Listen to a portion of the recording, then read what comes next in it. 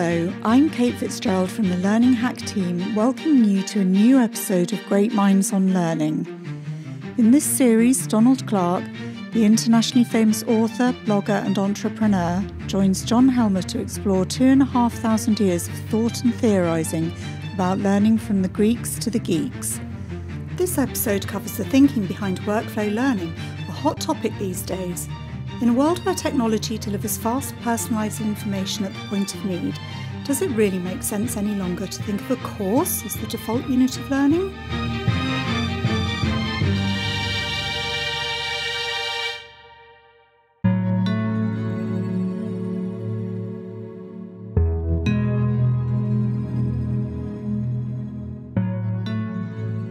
In June 2018, the analyst Josh Bersin wrote, A new paradigm has arrived, one I call learning in the flow of work. And since Josh Bersin is an extremely high profile and influential analyst, suddenly learning in the flow of work was buzz phrase of the month, of the year. Still with us. But that's not really the beginning of the story when it comes to workflow learning, is it? We could trace the idea back to Gloria Gery's 1991 book, Electronic Performance Support Systems, and maybe even further back. Um, you'll you'll tell us about this, Donald. But yeah. it's a bit more recent than many of the other ideas we've featured on this podcast. Um, um, you know, given that the podcast goes back to Aristotle and Plato and so on, because it's triggered learning in the flow work by the existence of network computers and, of course, the internet. And the affordances of those technologies are what really makes it available and possible. So it kind of starts there. I, I think. I'm hoping I'm right there. Yeah. As a sign, perhaps, of how recent the idea is, I have to announce a significant first for the Great Minds on Learning podcast. Everybody we're talking about today is still alive at the time of recording, anyway. Two of, the, uh, two of these people have been guests on the Learning Hack podcast so far, and I've got my eye on at least another one of the others. So, Donald, give us an overview, please, of how you formed this group and maybe a definition of what it is we're talking about this time. Yeah, sure. When I I was really you know writing this and looking at all the research on this, actually Josh Bersin didn't feature at all. He's a real bandwagon guy. He's almost nothing to do with this, to be honest, because the ideas have been around for oh really 50 years and longer. And anybody who knows about this area, apart from Josh, obviously, who but that's a pure marketing thing. It's got nothing to do with the real world in a sense. It's about Deloitte's selling product. But uh, I think this goes back way back actually to the 1970s, and Guy Wallace, who we will be talking about today, uh, mentions two figures in particular, and that's uh, Geary Rummler and Tom, Tom, Gilbert. They were the first who started talking about worksheets, checklists, documents, uh, you know, work examples, all those sort of things that are really useful actually in the workplace and have nothing or almost nothing to do with training. So we had that stuff early on we, I mean, going back to the 1990s, I can remember, so we have Marsick and Watkins, quite a famous book on informal and incidental learning in the workplace, mm. and that was 1990. Uh, and then uh, you mentioned already Gloria Gery, whom I met, uh, remember meeting her in Denver, and, and she has a, a, the book is actually very, very good on electronic performance support systems. That's 1991. Jay Cross, of course, spent decades yeah. talking about informal learning. You know, in other words, most of what we learn is through informal means, but we spend all the money on formal courses. He thought this was a ridiculous imbalance on budgets in workplace learning.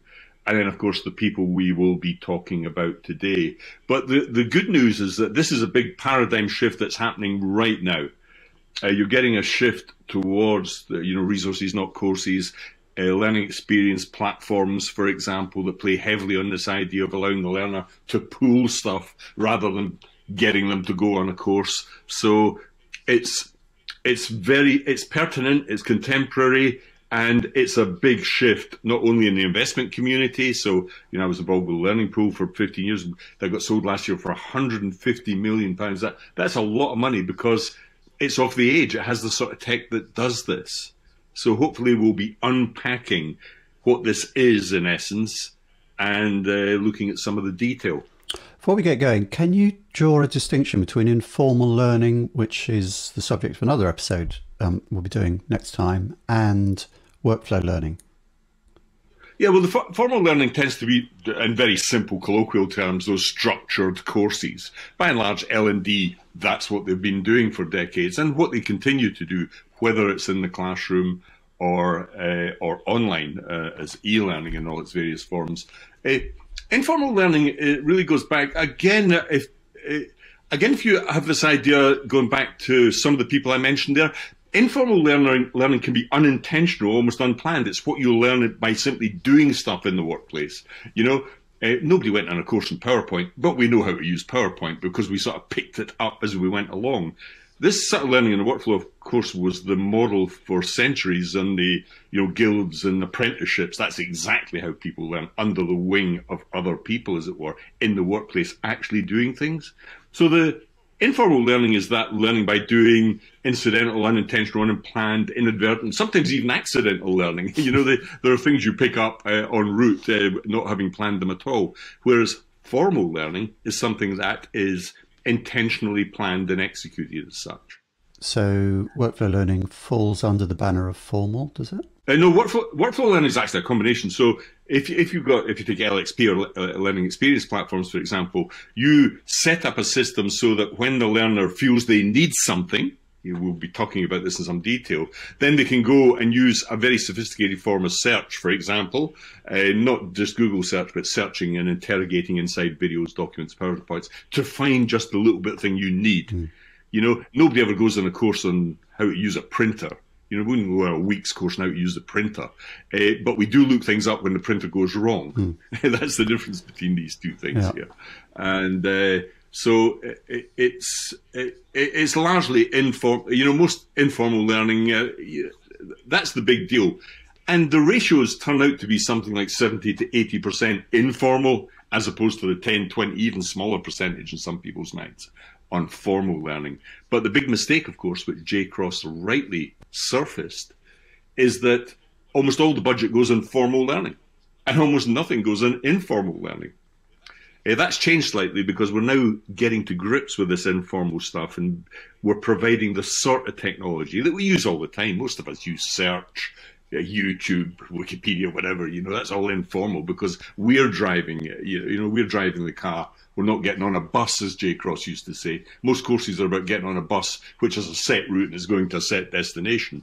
He's saying actually what most people like to do is buy cars and actually decide on the destination when and go there when they want to, as opposed to some scheduled course, uh, which is equivalent to being on a bus. Electric cars, hopefully. And of course, electric cars. Very interesting. It was a very interesting thing this week. Somebody, somebody was pointing out that uh, it was on Twitter that Zoom may have may have helped climate change uh, more than electric cars. and it was when you're in an electric car, you're still using loads of energy and so on to go somewhere, perhaps, you know, not necessarily a useful thing to do for meetings. Uh, but it may be that Zoom has been the real, the real deal in terms of climate change. I thought it was a very interesting observation. Of course, some energy is used in that and on the internet, but it turns out to be about 7% of the journey.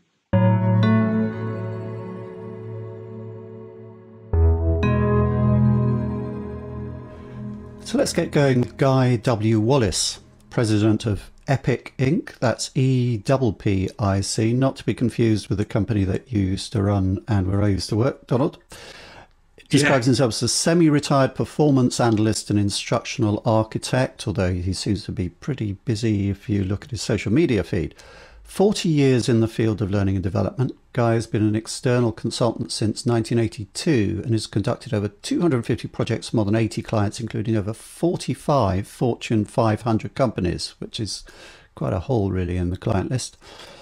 In 2010, Guy was the recipient of the Honorary Life Member Award from ISPI, the International Society for Performance Improvement. Performance is a big word with Guy and with several other of these people today. Guy's the author of 17 or 18 books, depending on, I think it's 17 on, you've got on your blog, Donald, I saw someone else, 18 books, and over 100 published articles. Highly active on social media, as I said, and an assiduous supporter of this podcast.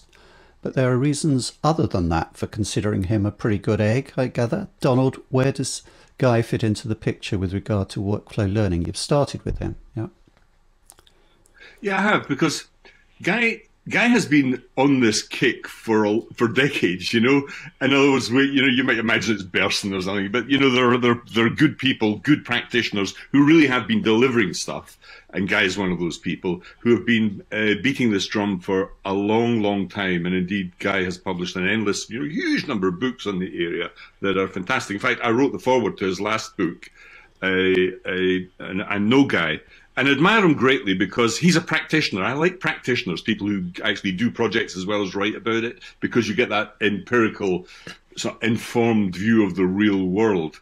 But I think Guy focuses on two big things here, which are the two big weaknesses in when you're thinking about how you're going to deliver learning in the workplace. And you might call it top and tailing. The first weakness is that people, in Guy's view, people just don't do enough or the right type of analysis up front in projects. So they they then hare off and deliver the wrong stuff. The second big thing is at the tail end, they don't really understand the difference between performance and schooling and education and learning. In other words, actually what people in the workplace really need to be able to do is do things. You know, uh, they need to be able to perform, you know, whether it's leadership, you actually need to do things with your employees as a manager and so on, right through to other competencies. And he thinks that a lot of training, we default into courses all the time, which is a bit like going back to school, but you're going to forget it all and it's too cognitive and too sort of texty and theoretical and it doesn't really have much application or transfer to the workplace. So he thinks that topping and tailing, you know, good analysis up front with an eye on performance is a big deal. And to be honest, I think he's right in work, workplace learning. You know, he thinks that L&D are really very too classroom focused. You know, they're a bit schoolish. and they constantly want to shove people into rooms and take them away from the workplace.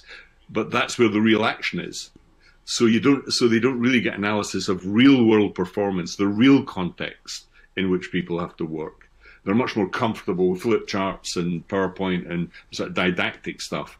And that's why they, they often don't have much knowledge of transfer, for example, the theory of transfer or how people transfer the knowledge they gain and skills they gain uh, to to real situations which they face in the world. So it's much more about finding out what the need is and servicing that need than assuming that everything that you know. Yeah, I think he talks about that. You know, quite well known thing in training the last few years um, when all you've got is a hammer everything looks like a nail so we kind of throw courses at everything yes, and that so he's pretty fundamental in terms of the people we're talking about Yes, it, it, I mean, just before you know, it, on that on that notion of you know, the, just unpacking it a little bit more, he picks up on all sorts of theory from Gilbert. Uh, another great favourite of his, who we're just about to talk talk about, is Richard mm. Clark. But I, I think when he talks about performance, he's very precise on this. You know, it's not a sort of woolly concept for Guy mm. at all. He thinks you really have to focus on what people need to know. In other words, what do they actually have to remember you know, there's some stuff that they, or do you just have to produce stuff that's available as resources? So rather than this automatic production of a course, batching people by the dozens through the course, he thinks that you should be defaulting away back to very simple things like job aids or job aids embedded in training if you do want to go down the training route, and only only then, you know, after you've exhausted all the little tricks of the trade, do you start thinking about uh, courses and, you know, critical knowledge and skills. So performance for you need to un- unpack performance. What is performance here? You know, he thinks that there's a very definite method that you have to go through. And that, that method involves really understanding your target audience, not having just empathy for them or something. You know, you, you have to look at performance, the gaps, the ideal performance, the gaps in performance, where people get stuck, what enables them to get over the bridges mm-hmm. when they mm-hmm. get stuck, and the existing uh, content assessments uh, for potential reusers. That's a really interesting one. He's quite often looks at training from the point of view of don't reinvent the wheel. You may already have stuff that's useful or can reuse in the future. So he's constantly looking to short circuit the process and go for a sort of Occam's razor minimum number of entities to reach your given goal. And I think that's really admirable. And he has a whole methodology about this that we needn't go into today, but you know, about the way in which projects are kicked off, how you do the analysis, the development, the revisions, the pilots, and so on. But he's he's an informed guy, and if you want guidance on process around this, guys. Uh, he, guy. He's, he's the go-to guy. He's the go-to guy for that stuff.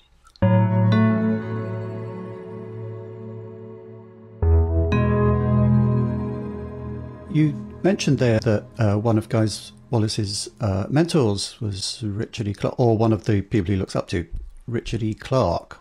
So, Richard E. Clark, let's get on to him. Some say that learning has more than its fair share of Clarks, but we say the more the merrier The more the merrier It's a learning theorist joke. People are going to find that funny. Everybody else is staring blankly. Yeah. But with no disrespect to any of the other Clarks, uh, yourself included, Donald, this one is certainly a pretty significant Clark. He's emeritus professor of educational psychology and technology in the Rossier School of Education and emeritus clinical research professor of surgery in the Keck School of Medicine. A stack of professional honours and awards. Uh, I accessed a selected list of his professional publications and it runs to 21 closely typed pages of A4. so he's written an awful lot, um, and a lot of papers and collaborations with people like Sweller and so on. Probably Merriënboer as well. Says it doesn't really matter which media used for learning. Quite controversial there. He championed direct instruction. He challenged constructivism. He's a skeptic on games-based learning, and is an AI optimist but there's a lot more to his thought besides. Covers a, a wide area. Yeah. Cognitive task analysis is a big thing with him. He's very keen on motivation. Um, Donald, I'm hoping you can sum him up and give us a bit of a handle on this um, this man's oeuvre. But what is his distinctive contribution to our view of workflow learning? It's probably the handle to hang it on. Yeah, to, to, explain the Clark joke for people who don't know this, but and during these podcasts, the name comes up so frequently, it's it's, it's rather odd. So we we've we had uh, Mamie and Raymond Clark on training about racism. We've had uh, there's Ruth Clark, another famous theorist.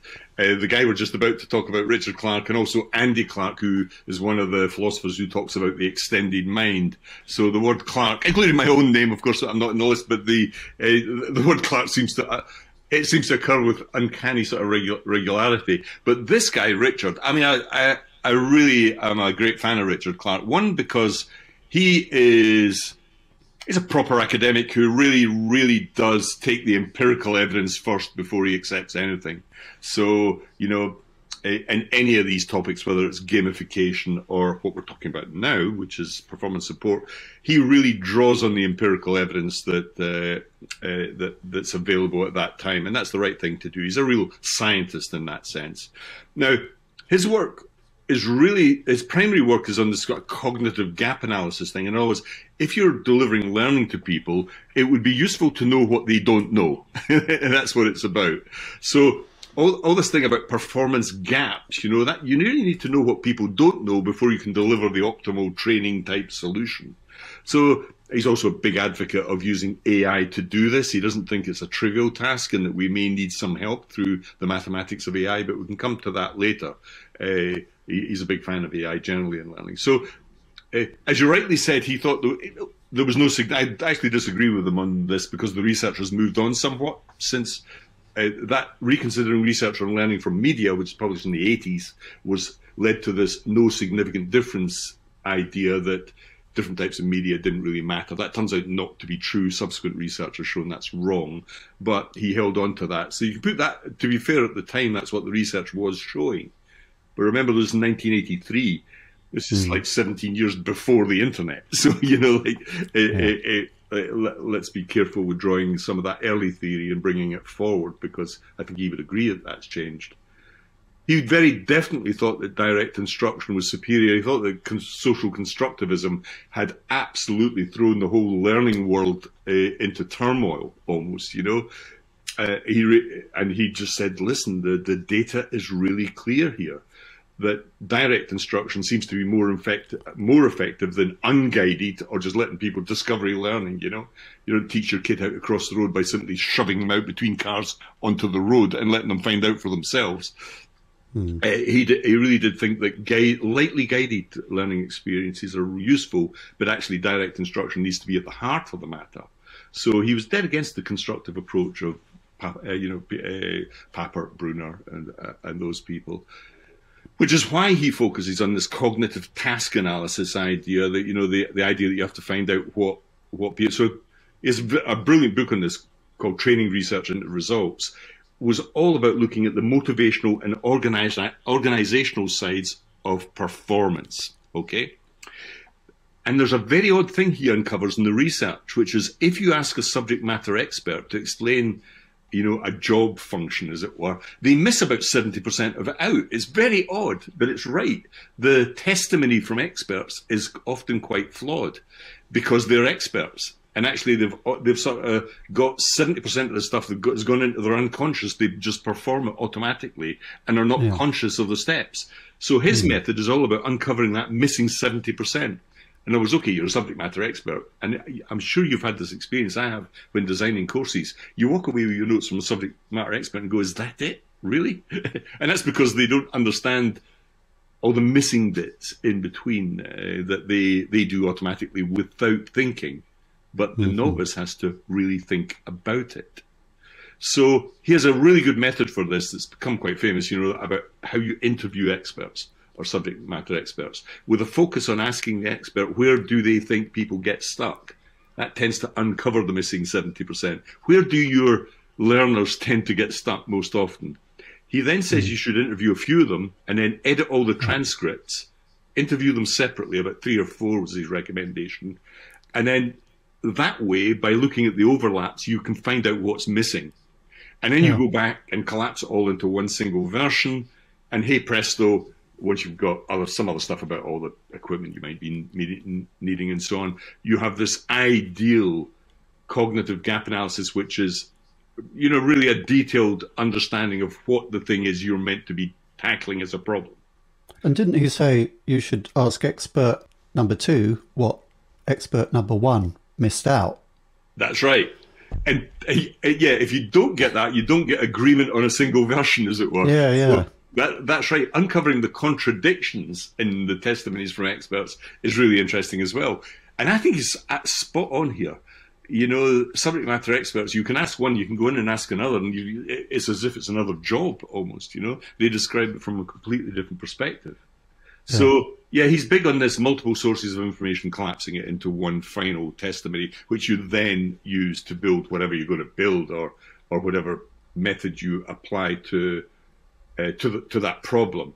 Now, he's also, I think what's interesting, you might think it's a bit mechanical, you know, a bit sort of robotic, but it's not really because he's really, really big on motivation. Mm-hmm. Uh, and he puts a huge amount of emphasis on motivation, which I think is right. And there are a number of different sort of angles on motivation. You know, first of all, there's the, the negative stuff. You know, people get knocked all the time in in work. You know, get made to feel small or told that they, they didn't get it right or whatever. You've really got to iron that out of the system. You know, you've got to get out of being negative towards people. He thinks that those obstacles sort of knock people at one side and are really destructive in learning. And then a second thing, we've talked about this in a previous podcast, is the emotional side of learning. Effective uh, you know, the effective yeah. side. So he thought that that can be he thinks that this is why he's dead against gamification. He said the last thing you want to do is overstimulate people and get them all g'd up. You know, mm. actually, when people are overstimulated or you know anxious uh, or negative, whatever, you know, there are a whole number of, of emotions. If you remember that Panksepp in our previous uh, podcast mentioned, he said these are incredibly destructive in learning. These disruptive emotions. So be very careful with that type of stuff. But the two big ones for him are you know, how do you feel about yourself here? You know, are you confident going forward in learning this stuff? Uh, do you feel that you can get on with the task and complete it and, you know, become that expert if you're a novel, a, a novice, sorry. And then the big one is a sort of values mismatch. And always you're going, you know, God, I'm receiving this training, but it, it, just isn't. I know this is not right. It's just not relevant to me or the workplace. You know, in other words, it's some liberal view of the world, and you're not necessarily a liberal sort of person, or you're a very liberal person and you don't like this didactic stuff. There's often a mismatch between what your expectations are and what the L and D department are throwing at you, which is usually oodles of compliance training, of course. which he would, which he hates. He thinks, it's just, well, like most people who look at this with any sensible eye, go, "This is bad news." You know, constantly accusing people of having deficits is no way to encourage them to learn how to be better people. And yet, mm-hmm. you know, so much training has become that. So, how do we relate what he's saying here directly to learning in the flow of work to, to workflow learning. So, for instance, with the way that you interview SMEs, that could apply to any type of um, uh, learning design process, surely. But what, yes. what, why is he specifically in this group? Well, like Wallace, like Guy Wallace, eh, he has exactly the same view of this, which is you're always looking to minimize. When you actually do this analysis properly, you find out that there's loads of stuff that you would have had in the course that you don't actually right, need. Okay. And this is this de minimis Occam's razor, minimum number of entities, you know, things like checklists, job aids, these FAQs, PDFs, whatever, you know, all those things that we read, we use in real life. Mm-hmm. You know, whenever you get stuck on something, what do you do? You go to Google, you go to YouTube. You know, we, we know how people know how to do this. And with the advent of online resources, of course, this has become the norm. So just like Guy, he thinks that we over egg training courses. Sometimes we under egg it, of course, because we miss out loads of things that we should be teaching them mm. and give them loads of schoolish educational type theory. Uh, it, so both of these uh, theorists think that's where training has gone badly wrong. We're essentially treating training like schooling and education. You know, giving people theory which they will forget and doesn't really allow them to acquire the skills they need in the workplace. So this intense focus on the cognitive task analysis, on an, an, analyzing what needs to be taught, that results in you splitting things up really into courses and resources. You know, this this is stuff you need to get people to remember for them to achieve automaticity in. This is stuff you can deal with a job aid or a you know or a checklist or or, or whatever. So that yeah. that's the kick out from the, the, the precise focus on what is the performance change we need. It's very much a kind of workplace learning um, yeah. way of looking at the world, isn't it? Very different from uh, what, what we see on the education side. Yeah, it's it's three words really. What do you need to know to to perform a task? And that that's that's really what this comes down to.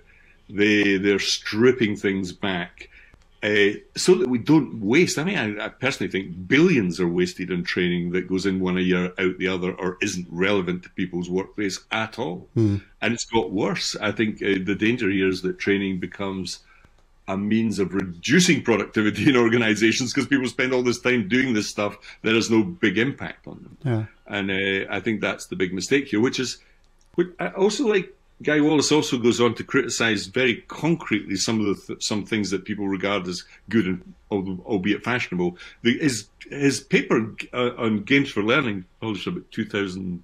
I remember it was at, two, mid 2010 or 11 or something.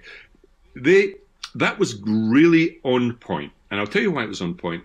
Is that he identified the fact that the research is massively flawed because it doesn't include the papers that showed that gamification didn't work. Now, if you actually go back and look at the papers, there's loads of papers that show that gain, but people cherry pick the evidence. That's the first thing. Mm-hmm. This goes back to his no significant gain results in a way. But he, th- he thought that the research was actually quite weak anyway. There weren't that many good papers. And that if you did design a good methodology uh, comparing people who did the game as opposed to people who learned by other means, you would find that the game people would, uh, would come out badly. Now, this is interesting because he had reasons for this. And when he looked at the research, he thought that games were a distraction from the sort of real evidence based stuff that he's been talking about.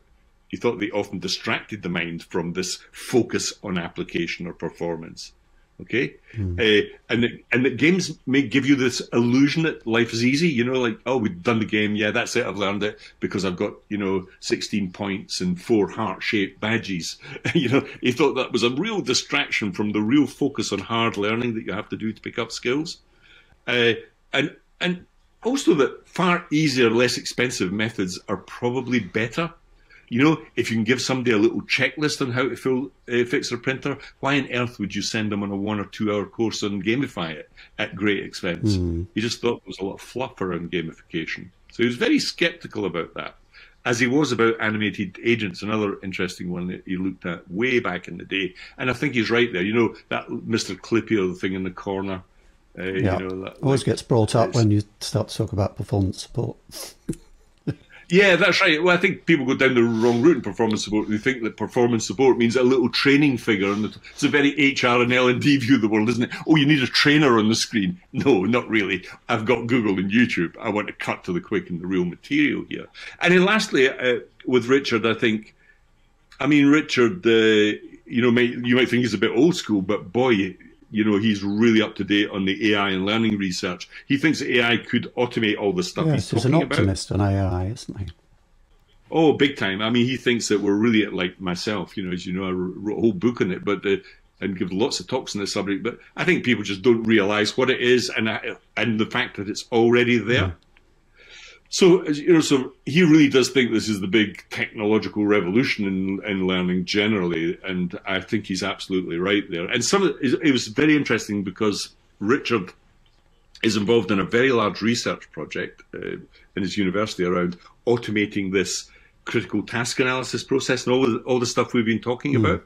He thinks AI could vastly help us to do this, uh, to get knowledge out of subject matter experts and get it into shape. But I was also involved in a project doing exactly that this year in parallel, a real project for a real company in Europe. And there we, we, we had a blended learning tool that took all as its inputs, all of the types of learning that you need, you, you what type of learning do you need to do? What type of, what learners have you got? Uh, what resources have you got? And used AI to output an optimal blend. So this stuff's starting to happen. In that sense, Guy, uh, uh, Richard Clark has been uh, prophetic.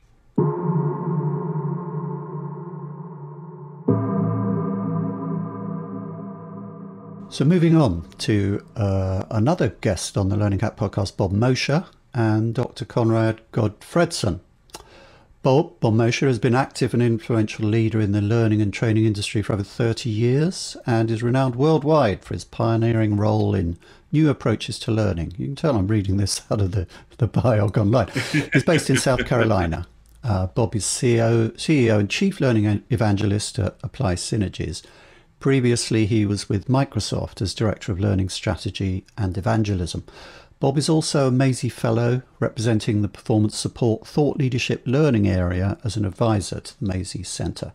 Now, his partner, Dr. Conrad Gottfredson, is a founding partner and chief learning strategist at the Five Moments of Need, also a senior partner and chief learning strategist at Apply Synergies, so they work very closely together. Uh, although Bob is probably more high profile as he's often out on the speaking circuit um, and so on. Con earned his PhD in instructional psychology and technology in 1984. After graduate school, he started working at Standard Oil of Ohio, and that's where he discovered the five moments of learning need. He recognized that there were five moments of learning need, which I hope you'll outline for us, Donald. And he began pioneering a performance based approach to instructional systems design. So, after leaving Standard Oil, he began an independent consulting practice. He's also an accomplished author and speaker. So, Donald, can you tell us about the five moments of need and what this duo build on top of that observation with regards to workflow learning? Yeah, sure, yeah. So I know Bob uh, very well. He's a good friend of mine, and uh, you really have to see Bob speak. He's oh, so passionate about this yeah. subject. yeah, he, but he's passionate because I think he's right. I mean, you know, he thinks that this is so important and yet so often ignored. You know, the fact that as we've been saying, most learning doesn't take place because of training courses. It takes place on the job. You know, we sort of learn by doing stuff, you know? And so on this notion of, you know, bringing performance support to the table, uh, both these guys have a whole number of different techniques and so on that are all built around this moments and need idea. And so these are all things that will reduce costs, for example. It will reduce the time taken to train people.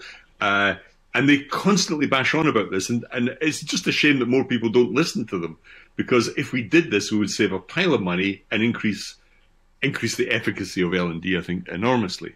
So the, at the heart of the matter for them are these five moments of need, and the five moments of need is a nice, simple mantra, and it's beautiful. It's beautiful because I think it just hits hits the nail on the head. It really does hit the nail on the head. Now, those these five are new, more, apply, solve and change. New, more, applied, solve and change. And just to, to, explain what those are. So the news, you're like you're coming across something for the first time. You know, like I don't know what is blockchain. I've never heard of blockchain, so that's new stuff. That's obviously you would go and maybe find find out about that. You may go to Wikipedia or a YouTube video if it's a skill or whatever. Then there's more. You know, in other words, you want to take a little bit more of a deep dive. And I was okay, I've picked that up, but actually I need to know a wee bit more about this because it's not enough just knowing a kernel. And then there's the people who want to apply stuff. Okay, I know this, but how do I actually do it? I've got to interview somebody and I know about open and closed questions, but how do I actually do that in the interview when this person walks through the door tomorrow? Uh, that's number three, applying that. And then the fourth, the fourth one is is solving, and that's normally when something goes wrong. You know, crap, my printer, I, like it's not working. it's, it's interesting. Like, you keep bringing up the printer. I think so many of us have had problems with printers. no, you know what? This is this is only because I had a nightmare with a printer yesterday, so it's yeah. fresh in my mind. But that's what workflow learning is about. Is what what do you need on that day? You know, it's a, it's a, a perfect illustration of what, what I'm talking about here. Because I had this nightmarish problem mm. with a printer, uh, which I solved by going online and downloading the the new update. Of course, uh, it wasn't a cartridge problem at all. But you know, when something goes wrong, that's his fourth one. So we had new, more apply solving something where, where you have to get a, you know something done really quickly. And then the fifth one is changed, and I think that's one of the really interesting one ones for Bob uh, and Gottfried because a change in an organization might be you get bought by another company, suddenly you got to learn a whole load of new stuff. It might be a new product, you might have a new manager, new team. all Also, you know, the change is often a big catalyst. Mm. Uh, for learning. So they've got new, more, apply, solve, change, the five moments in need. And around all this, they think uh, it's not that uh, most people think of new and more. That's the problem with training. It focuses on the first two, whereas the last three are probably a greater proportion of what real learners in the real world actually need. So he thinks in order to deliver this that you have to orchestrate them all. You have to have these combinations of things that you allow the user to pull stuff towards them when they need it, uh, like search, uh, like looking at YouTube, whatever uh, but also pushing stuff. That may be notifications or nudge learning, any of those things that we're, we're, going to be talking about here. And of course, this goes back to the same thing that we've talked about with the two previous theorists, and that is that most learning takes place on the job and not in training courses. But there are techniques you can still use that really make this performance first approach work if you have absolute focus on the on that positive side of uh, of looking at the world from the far end. And was what are you expecting these people to actually do in terms of performance and productivity? And i mean the the thing that bob goes on about is this training mindset. We have to get l&d out of a training mindset about building an instructional system. Hundreds of courses mostly courses you know taking orders for courses. You know if that's all you've got in your menu then you're missing out what you really need to be doing here, and that's focusing on what's important to people in their job and how you solve problems on the fly and in real time, which is why newer technology has come along to solve this problem. You know, so so and learning learning in the flow of work is often about you know the little hesitancies, mistakes, and stuff that people come across, getting stuck.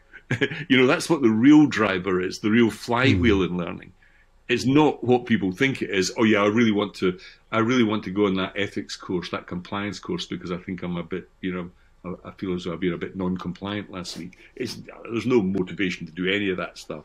What really drives people is when they sometimes fail at something and don't want to fail in the future. They make a mistake, don't make the same mistake, or or they get stuck. Uh, that's what all this is about. Now, I think what I really like about Bob. Uh, also is how practical their advice is. Yeah. to give you an example, on performance support, they have this rule about two clicks in yeah. 10 seconds, which is a great line, which is if you get stuck, you should be able to find the answer within two clicks mm. in 10 seconds.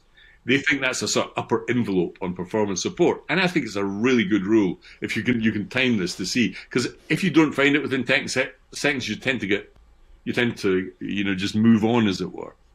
Now, they also have a sort of hierarchy of steps to solve problems for people, which is really nice. And the first basic one is just supporting knowledge, you know, uh, uh, uh, documents, policies, procedures, job mm-hmm. aids, uh, frequently asked questions, checklists, all that sort of stuff. You know, none of that is e-learning or formal training in any sense, but he thinks that that's what practically most people want and use anyway. So why not provide it for them before you shove them on a training mm. course? And only as a last resort do you go into people, chat, social networks, communities of practice, all that highfalutin stuff. He thinks they, they, most of these theorists think there are some basic solutions to problems that are largely ignored. And that's what, again, coming back to these learning experience platforms are trying mm. to hmm. do.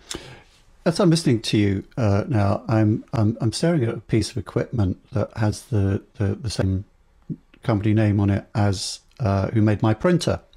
I'm thinking the people who really need to hear this stuff aren't L and D. They're the people who made our printer because the software produced by the company, who remain nameless, is just absolutely appalling. The manual completely appalling. You know, two clicks and ten seconds. Yes, printer manufacturer.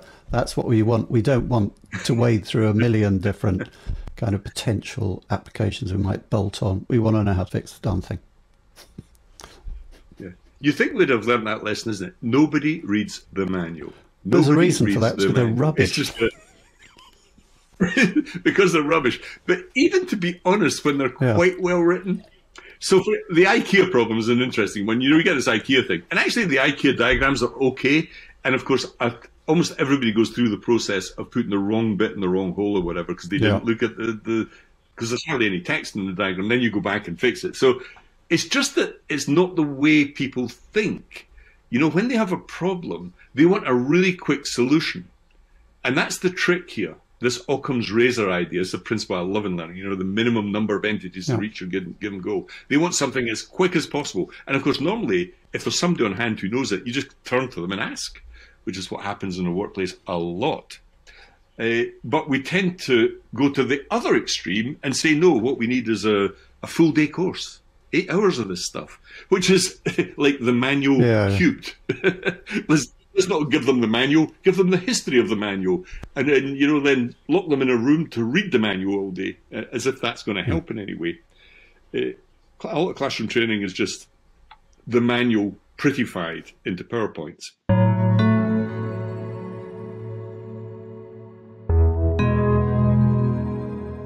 So moving on, Richard Thaler, I think, I hope I pronounced that name correctly, born in 1945, good to have some birthdays, and Cass Sunstein, born in 1954. These two are the most famous in this group. Their work is known far outside the confines of our field of learning, most notably in behavioural economics, where their contribution to the field sparked a revolution in the way economists saw the world, although their influence has been far more wide, widely felt even than that. They are co authors of the hugely influential book Nudge Improving Decisions About Health, Wealth, and Happiness, and thus the originators of nudge theory. Richard Thaler is an American economist and the Charles R. Walgreen Distinguished Service Professor of Behavioral Science and Economics at the University of Chicago, but more significantly, he's a winner of the Nobel Prize in Economic Sciences.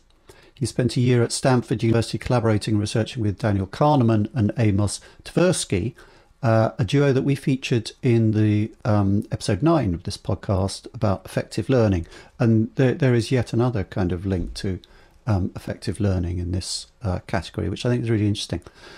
Cass Sunstein, his partner, is an American legal scholar, um, a, a, very well-cited legal legal scholar. He was a professor at the University of Chicago Law School 27 years, uh, and was part of the Obama administration as administrator of the Office of Information and Regulatory Affairs. Since leaving the White House, Sunstein has been the Robert Walmsley University professor at Harvard Law School. Donald, number 10 under Cameron had a, that's our Prime Minister Cameron, had a nudge unit, and it possibly still does, as far as I know. So these are ideas that found their way to the very heart of uh, two very large Western governments, and many other governments as well. But what does nudge and its particular brand of libertarian paternalism bring to workflow learning? Yeah, so we have a Nobel Prize winner here, so that that may, may you know make us look up a little mm. bit because that's interesting. Building on the previous work with Kahneman Tversky, of course, whom we've discussed, another Nobel Prize winner. So this stuff's quite important theoretically, and so if you imagine this workplace learning problem, in other words, I'm sitting there and I need help on something, you can either pull it uh, through search. There's some other methods you can use in the systems as well, but you can pull stuff towards you if you want to pull them out, pull it out to get you help, or you can have stuff pushed to you.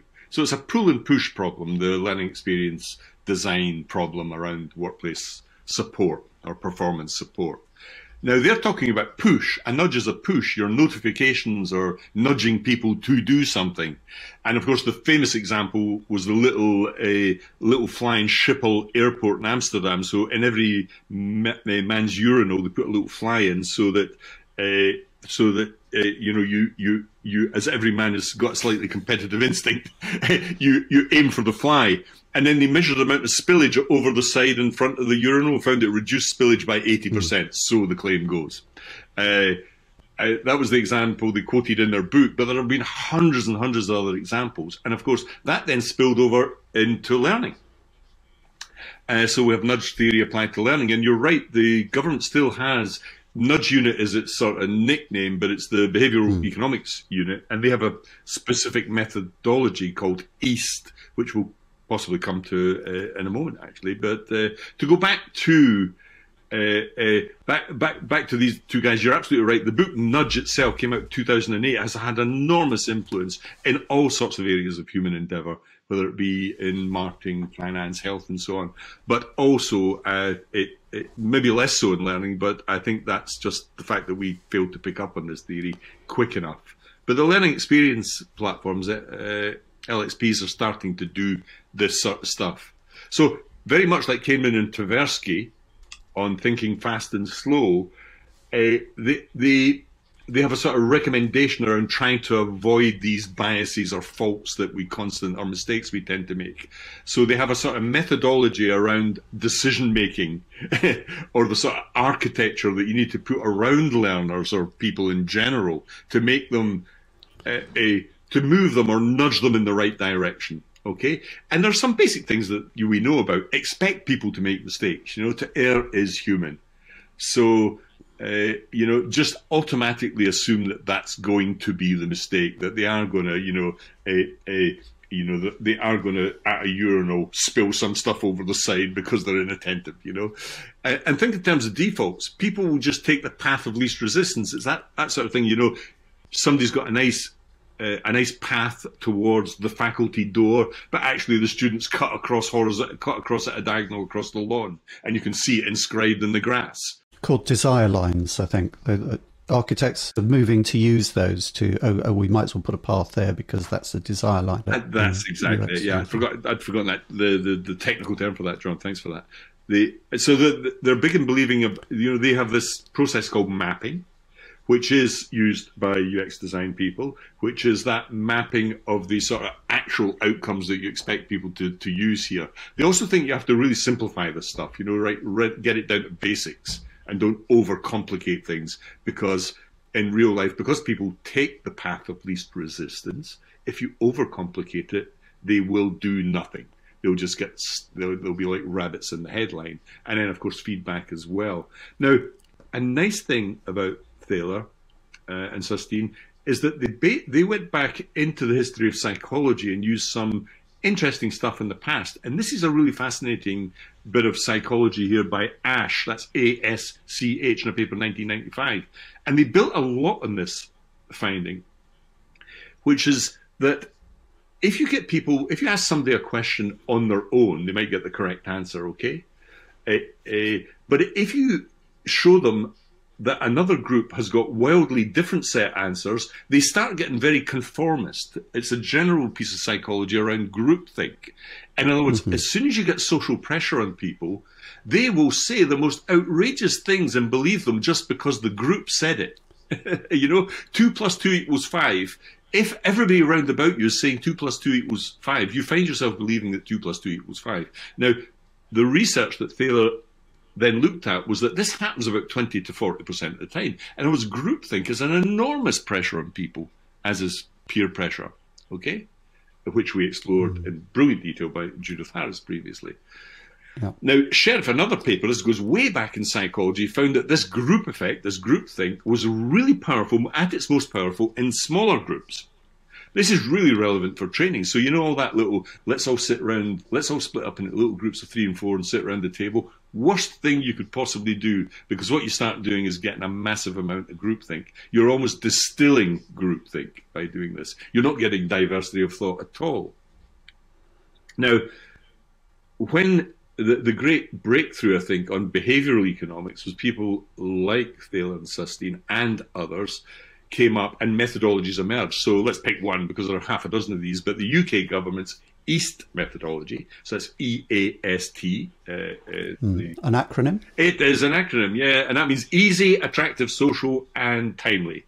So whatever you're going to do, you know, I think it's an, is a, I've actually used this in design in a design context, and I think it works for nudge learning. Keep it short and easy. You know, don't over egg this. It may be just showing a 15 second TikTok vid- type video, you know, rather than a five minute video.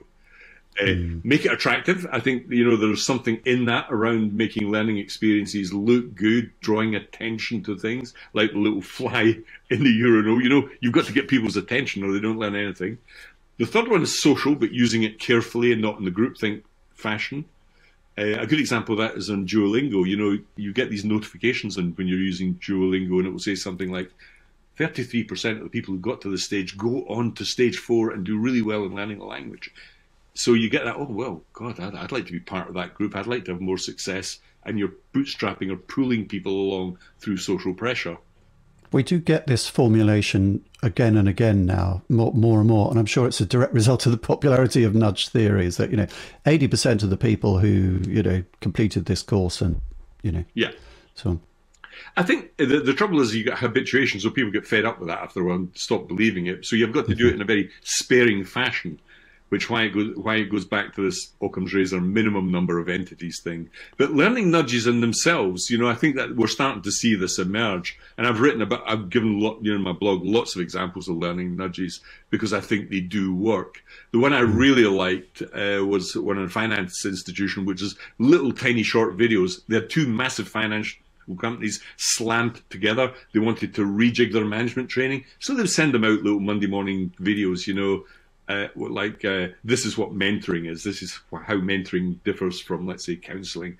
And then at the end, it had a little call for action and said, right, go and mentor somebody in your team. I want you to pick one of the youngest members of the team and mentor them for a week and come back and report at the end of the week. That sort of thing, I think, is a, a, a, is a brilliant example of nudge learning because it's not invasive. It's not dragging people out onto a course.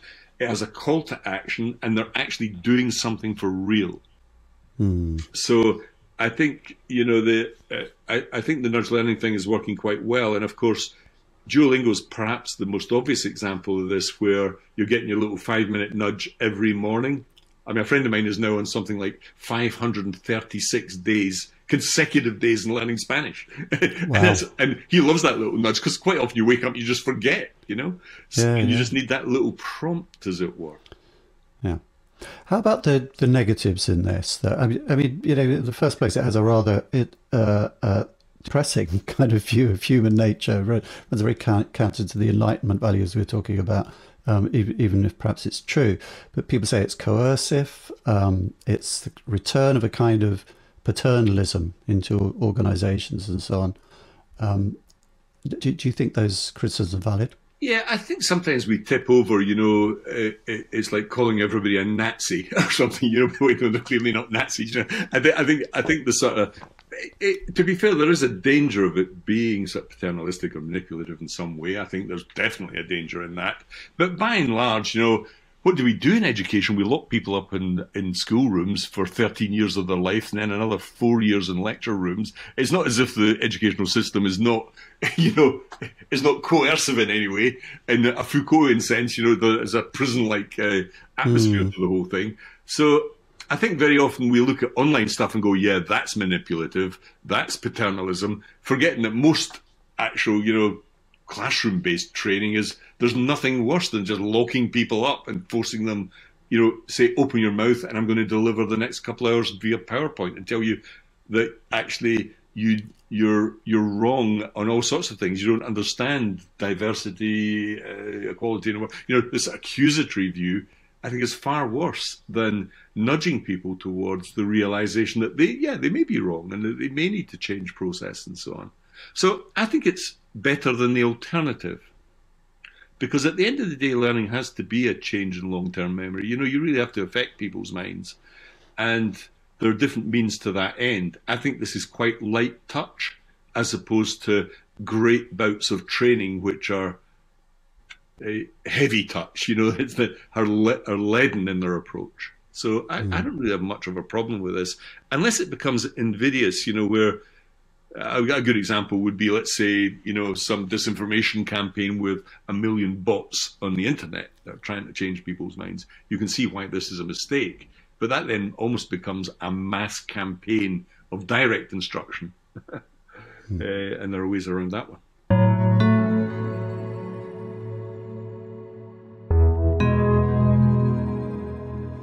So, moving on to the last, but certainly not the least of our theorists, um, your friend of mine, Charles Jennings. He's been interviewed on the on the podcast, and I've bumped into him uh, throughout my career, one way or another, in learning. Born in Australia, I think, but definitely from Australia. Attended the University of Sydney. Uh, career highlights: he was chief learning officer at Reuters and Thomson Reuters.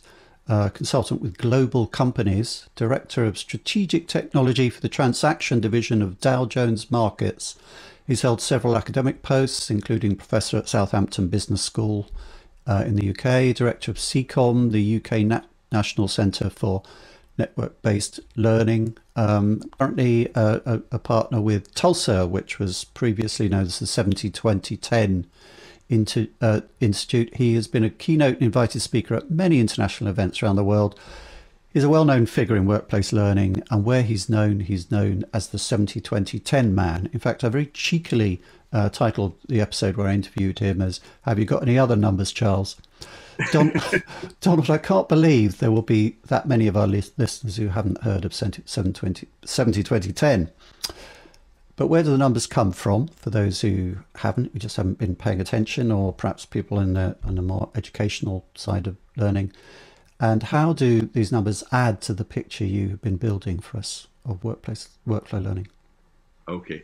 So, so Charles, yeah, I, I, he's a good friend of mine as well. And, and Charles, you know, is, as I said earlier, a real practitioner. This is somebody who's seen it, done it, got several T-shirts around mm. implementing this stuff in very large global organizations. So that should make us sit up and listen to him. And he is a fan of 70 2010. But as he never tires of telling people, don't get obsessed by the numbers. These are not sort of absolute numbers. You know, they are. This is a heuristic, a sort of you know a rough guide, rule of thumb, if you want to call it that, mm-hmm. uh, in terms of shifting us from the old order taking thing that we've been talking about, just build courses, towards this performance paradigm we've been discussing. Now, you asked an interesting question: where does it come from? And Charles is really good in this. Uh, we have Jay Cross and all the other theorists I've mentioned, Marsick, uh, Gloria Gery, Jay Cross, they also have evidence like this. And there are lots of examples of this. And they come around the seven, you know, they break down roughly into that area, but not, not exactly some of them. But for Charles, there's a very specific study from the Center of Creative Leadership. And it was quite a small study, about, mm-hmm. about 200 people. And this goes back, this is back 40, 40 years or so ago. And what they did is they looked, they interviewed 600 odd key learning, uh, the interviewers collected the key learning events, which they then distilled down into categories. Now, the two people who did this are Eichinger and Lombardo, if you're mm-hmm. interested mm-hmm. yep. in the actual study itself. And when they broke down and looked at how people really did learn in the workplace, it seemed to break down into three categories uh, this 70 20 10. So, what are the three characters? Uh, what are these three categories? Well, the first, the 70%, is just learning in the workplace. You know, in other words, you've got stuff to do. You're learning by doing it. You're almost doing it unconsciously because you've got to get on with it and solve the problems. So you're learning in the workplace. 70%, just that. The next 20% is learning from others. In other words, if you get stuck or whatever, you turn to somebody else or you ask people to someone to help you or you go and seek advice. So 70% just work, 20% from other people, and only 10% was formal learning and reading. Reading was included in the category there. Formal learning and other courses. Only 10% of your learning is courses. Isn't that interesting? Now, if this is true empirically, and this is Jay Cross thought it was about an 80 20 split, uh, so very similar in many ways. Uh you know, Jennings isn't saying this is uh, as I said, an, an, absolute set of numbers here. But boy, even if I'm wrong by a little, even if the error rate is plus and minus mm. 5 10%, it's still so astounding. Yeah. This is so big that we need to pay attention. Now, Jennings thought that L&D just focuses on the 10%, so he calls it 10% or 10% plus, you know, with, with its absolute focus on all these courses that they, they seem to want to deliver. Now, what did he think the problem with that is? Well, if you're just like a waiter taking an order, then people will just, yeah, sure. The business comes to you and say, they always come because you're L&D and they think that all you do is courses. They say, we need a course on X. You deliver a course on X without doing any of the analysis and diagnosis on what the actual problem is You build a course. You don't even measure whether it works or not because hardly ever, anybody ever really evaluates learning. So the managers that ordered the course are happy. They've ticked that box. Okay. You're happy because you've got L&D budget and you're in a job. Tick that box. The learners feel as though they've made progress because they've been on a course. Tick that box. But actually, those boxes have all been ticked, but there's no real, you know, do we know that this is worked? No, we don't. In actual fact, the 70 20 10 metric uh, would suggest that you've done the wrong thing. You've, you've, you're just like a, you know, this treadmill. And he has a great, great phrase for this. He calls it the conspiracy, of convenience. Of convenience. Yes. I love that. Conspiracy of convenience. Of course, it's convenient to build courses because you get the budget, you execute, you deliver, job done. Hmm. But this reduces us to this sort of treadmill, reduces L&D to a sort of course treadmill, a sort of subsidiary order-taking role, like the waiter or waitress, you know, in a, in a restaurant. It's not, you know, you're, you're not being a strategic partner in any sense there. You know, there's no room for this sort of notion of learning being a process, a process of continuous improvement, delivering stuff when people need it, as opposed to when you timetable your course and start batching people through. So there isn't any real alignment with organizational goals. goals. There may be a little bit because the management have ordered these courses, but they don't know anything about learning. You're supposed to be the expert, and you should be going back, according to Charles, and saying, no, stop here. This may not be a training problem at all. It may be another type of problem. Now, he also thinks, I think this is really interesting because he th- he's thought a lot about this, Charles, and I think he's really right on this one point. And that he thinks that HR, when HR took over learning in L&D, he thought that was a bad thing. And let, let me explain why he thinks that's a bad thing. He thinks that he thought that HR was essentially about paying rations for individuals, right? So they, they're essentially about, you know, you know, making sure that all the mechanics of your job are right, your holidays, your pay, your overtime, your terms and conditions, your contract, mm. and so on. So this absolute focus on the individual and that those sort of outputs, he thinks has massively distorted L and D. Okay, and that we do the same. We just deliver stuff. You know, we give them answers to questions that's in, which is why L and D mostly does schooling and not training. It's mostly like delivering courses, theoretical courses, as opposed to actual the real knowledge and skills that people need to actually do their job better. Mm. And he thinks that L and D should move away from this conspiracy of convenience, away from order taking, away from that mindset, towards doing what is right, and that's doing more analysis and fighting back against the business, saying, "Don't you don't need to spend this money. Actually, this is better. This is a better approach." Based around the 70 20 10 sort of metric, but it's, don't get hung up on that. You know, they're not. He's not obsessed by this. He just says that's the starting point when we think of organizational learning. And I think he's right there, and it goes back to all the people we've mentioned earlier, way back to Tolman we did in Latent Learning, you know, yeah. and, and, Rats in a Maze, and they actually yeah. learned by just sort of jogging around the maze. Marsick, uh, Cross, Thorndike, all these sort of people that we've mentioned previously. You know, it, it's a real, you know, I think it may be as little as 4% of formal learning solutions actually, you know, actually work. That's an astonishing number, but he thinks that uh, it may have been almost catastrophic in terms of its delivery methods. And that brings us to the technology side once again. You know, we're only now beginning to understand that AI and learning experience platforms actually allow you to do this performance hmm. support, mm. you know, getting the right thing at the right time in response to Mosher's moments of needs. We're starting to see technology emerge that does attempt to do this. And I think that's really heartening because it may mean that we get away from the mass delivery of courses towards a, a more sophisticated set of tools and blend.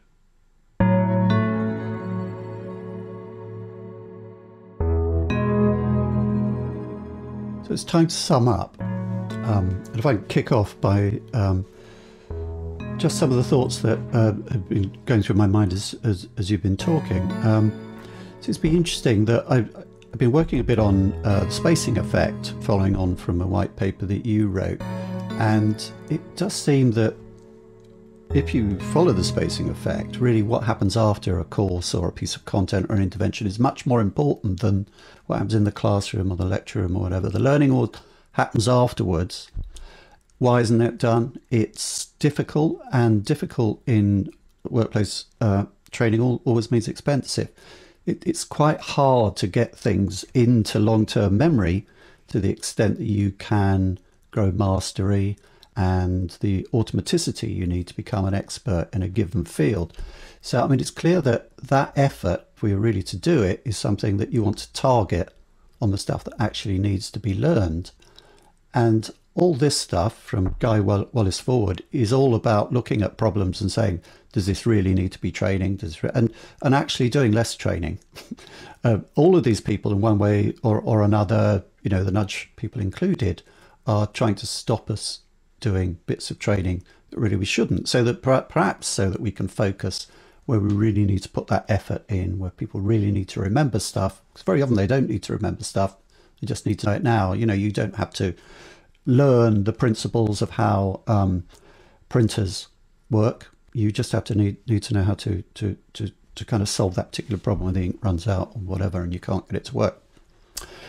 Um, so it's, it's kind of about targeting your effort. And one thing it's making me think is that that move from using the word training to using the word learning is actually quite a good idea in retrospect, because training is something that the training department deliver as learning is something that the learner does. But there is a, a question in the, in the middle of this that came up for me, which seems like a bit of a contradiction, is that um, one of your papers you talk about how important is that learners have autonomy. Autonomy is very important for people to to be able to learn, and yet you have Dick Clark talking about direct instruction. Um, nudge seems to take away a bit of um, autonomy because it's about redesigning the system to just make it easier for people to, to, to do what you want to. Where does where, where does it sit, Donald? Really, that balance between, say, direct instruction and learner autonomy within all this? Yeah, that's a good question because, of course, these are not sort of mutually exclusive binary type yeah. things. You know, they, it's about the blend almost between, uh, let's say, how much formal versus informal, direct versus indirect type stuff you're going to do. Other. And the pendulum has swung more towards the indirect or informal because that the evidence suggests that that's how people really learn in the mm. real world mostly. So the the empirical evidence would suggest that that's true. Uh, that, but but of course, you still want that intense training for doctors before they come out and practice on your on real human beings and bodies. So that it's not as if formal learning hasn't gone away and uh, has gone away in any sense or dis, disappears. But let's focus on something you said there. It was really interesting on space practice. And uh, you know, we just finished this big bit of research on space mm. practice, looking at how companies like Duolingo actually use space practice. Now, they started off with a very simple logarithmic thing like, okay, you know, because learning is a process, not an event. But training is mostly yeah. events, you know. So learning is a process, not an event. What the process of space practice actually works. The evidence is quite clear on that. Uh, but how do you do it now? This is how clever the technology is becoming now. It did start with just a logarithmic. Okay, do it an hour, do what, let's say one hour, one day, one week, one month type pattern out so that you start reinforcing the learning forward in time. Now, Duolingo then moved on to a thing called Leitner, which is a, a, space practice algorithm in a sense, almost like you have to get everything into the top boxes after, so they know what you get wrong. And they're constantly focusing or targeting was the mm. word you used, John. They're targeting the things you got wrong to make sure that you do them again and again until you get them right and everything flips up to the top box where everything's you've learnt that aspect of a language. They then moved on to something incredibly sophisticated around AI, and they talk about the half life of forgetting. Now, when you're learning a language, let's say you're learning Russian, and you have a phrase like "excuse me," "skажите, пожалуйста," you're saying, uh, you know, "excuse me," then what they do for every individual learner, they work out the half life, in other words, how long they think is going to take you to forget that work word. It's a complete flip. it's not about teaching you it necessarily. They know in advance how quickly you're going to forget it, which is why they do all the push and pull techniques. You know, they're still doing a lot of direct instruction in Duolingo, but they're also nudging you. Mm. You know, they're also using space practice techniques incredibly sophisticated algorithms that are targeted at you, John, as an individual when you're learning Russian. So that suddenly the technology is catching up with the theory. And learning experience platforms, the sophisticated algorithms around space practice, not only space, space practice, retrieval practice, interleaving, all of these things that the evidence tells us actually works as Dick Clark keeps saying, go back to the research base, see what works, and then get out into the real world and apply it using technology. It's only now that we've got the technology that does all this smart stuff, sometimes good teachers do anyway, that we'll be able to achieve many of the goals that all of these theorists, from Guy Wallace, Mosher, uh, the the nudge guys, Thaler, uh, through to Charles Jennings, mm. recommended which is think of learning as a process and not an event and stop building don't stop building courses entirely. There are some great examples where you need a really dose of formal learning. There is nothing wrong with that. But if that's all you're doing then you're wasting huge amounts of money and time because it's inappropriate okay so it's not just about a crude binary between resources this needs no. resource this needs a course because actually the, the course ought to be as you say, a process, not an event, and that goes into workflow as well. In other words, you're kind of reminded at judicious intervals within your working life to practice the stuff that you're learning. Yes, I mean most learning tasks. I mean, the, to be fair, I think for towards the formal course side, it's actually if you pick up, uh, you know, a new skill like learning how to make a stained glass window or a new musical instrument, about a very formal tuition and course type stuff is really useful, especially around the basics and so on. Uh, but as you become more autonomous, then the need for that mm. lessens. And that's a lesson in a different sense of the word that we've not learnt in the L&D yet.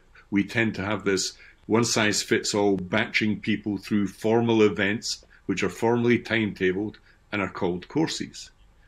And, you know, I myself have been you know, because I was on the boards of lots of uh, public sector organisations, I was constantly being sent on diversity and equality courses. But you know, well, you know, how many do you want me to take? You know, because you're just batching numbers mm. of people through this stuff. You're not thinking what their actual needs are, or you're not thinking about the organisation at all. You're just timetabling courses. So I think we have to be careful about this over focus on events. I said at the beginning that this stuff was fairly recent, but actually we've been hearing it for well over a decade now. I think in in in our world, is the message getting through? Do you think we're getting there? Oh, I think so. So, in, if you just look at the market data, for example, so you know a company we know well, Learning Pool. You know, Learning Pool have been going for a while, and we uh, more recently built an LXP they they were selling an LMS catalogs of content. We're a content company in that sense. Suddenly, you know, they have a, an LXP, a very good one called Stream, and they get snapped up immediately for 150 million. You know, out of the blue. Same with Absorb. You know, hundreds of millions are going into this type of tech now because people know it works. Duolingo, eh, people dismissed it as an irrelevance, but you know, it's got you know tens of millions of regular users every day. Which which other educational institution can say that? None. You know, no university has that. They're down at the at the best tens of thousands, whereas these systems, because they use these contemporary techniques and very, very smart technology, have millions of users. So I think the whole pendulum is swinging towards. I think that's mainly. I think this is you know people say oh it's all about learning, not about the technology, but sometimes it's about the technology. Sometimes a technology, the learning theory has to lay silent because we can't execute it suddenly a technology comes along that allows us to execute it. And I think that's what what's starting to happen now with LXPs, artificial intelligence, the algorithmic approach, nudges, notifications, all the smart stuff. And of course, we know this because this is the world we live in when we're online. You know, all these interfaces that we use on Netflix, you know, when we use uh, Google for search, these are all mediated by AI. You know, our whole the whole online experience is personalized now, and that's what learning has to catch up with. You know, we have to get get with the program here and understand that the world of technology now is no longer batching courses. It's almost as if L and D and the online thing is still stuck in the old HTML website, web page portal idea, whereas the world has moved on. Everything's much more dynamic and process and personalized. Well, the learning theory will never lay silent on this podcast. Thank you very much, Donald. yeah, no, thank you, John. It's a pleasure as always. Great Minds on Learning comes from the Learning Hack team and is produced by John Helmer. Sound edit is by Isaac Peacock. Social media by Jay Curtis. The podcast is based on a series of blog posts written by Donald Clark and we'd like to thank Donald for his kind collaboration in this project. Next time, Donald and John take on a subject closely allied to the one covered in this episode as they discuss informal learning. Join us, won't you?